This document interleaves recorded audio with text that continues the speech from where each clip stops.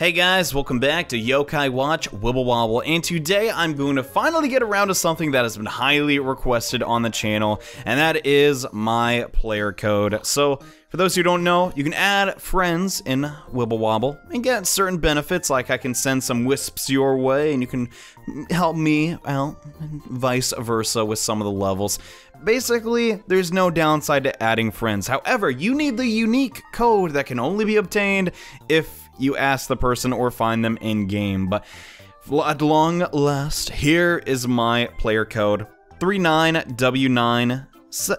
I thought that was a 7. Z133. So it's on screen right now. Feel free to add me. I play pretty much every single day. But unfortunately, here's the thing, guys. There are a lot of people that want to be my friend in Yokai Watch. Um, here's the issue.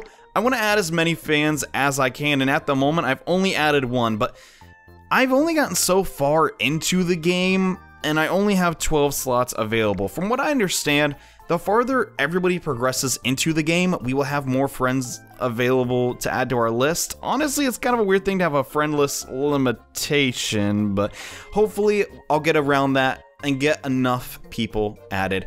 So if eventually you do see that I deleted you, please don't feel bad. You just gotta understand I can only add so many people. But yes, at long last, here's my code. I'm sorry it took me so long, guys, to make this video, but that is not all. Hopefully there are some people in the comments as well. Let's all exchange our player codes and all add each other as friends. I understand yet again, can only have so many people, but the benefits are pretty helpful. So I think this is just a great idea that level 5 would incorporate this into their game. But with all that being said, yes, at long last, here's my code. Also, it's me, because I'm Executive Johnny.